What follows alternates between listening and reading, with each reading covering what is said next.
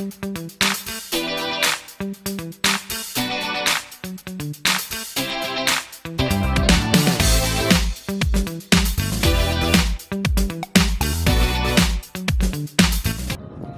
Hello eight class student welcome to your channel Pioneer Institute one seven one nine eight three student आज हम आपके लिए लाए exercise four point two का question first का third part जो कि कंस्ट्रक्शन का है। आपको इसमें एक रोम्बस बैंड नाम का एक रोम्बस बनाना है, जिसकी सभी साइड इक्वल होती हैं। और इसमें सिर्फ़ आपको डायगनल दिए हैं। तो चलिए आइए स्टार्ट करते हैं।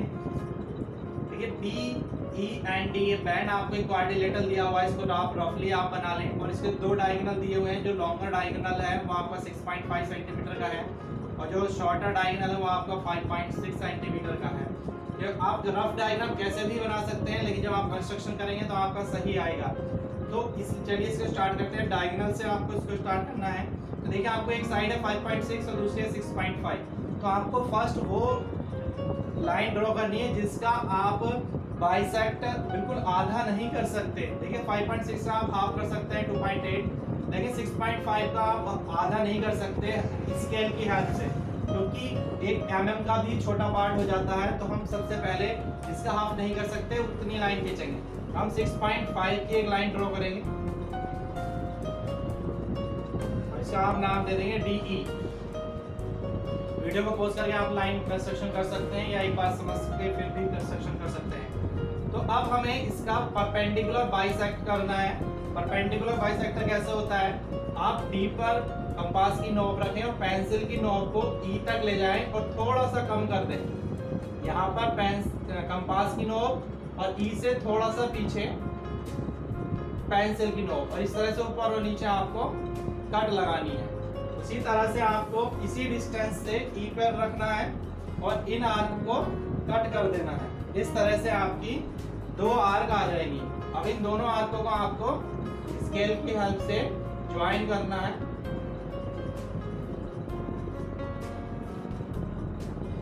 तो ये हो गया परपेंडिकुलर बाइसेक्टर किसी भी लाइन का परपेंडिकुलर बाइसेक्टर हम ऐसे ही करते हैं। तो ये इसका मीट पॉइंट आ गया ओ अब हमें क्या करना है? जो दूसरा डायंगल था हमारा 5.6 उसका हाफ़ हो जाएगा हमारा 2.8 तो हमें 2.8 सेंटीमीटर की आर्क फिल करनी है और इस सेंटर पर कंपास की नोब रख के 2.8 की कट लगानी है इस तरह से, ऊपर भी और नीचे भी.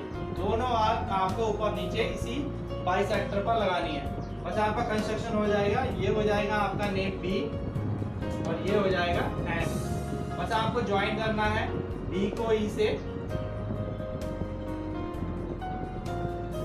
ई e को एन से एन को डी से, और डी को बी से। इस तरह से आपका कंस्ट्रक्शन कंप्लीट हो जाएगा।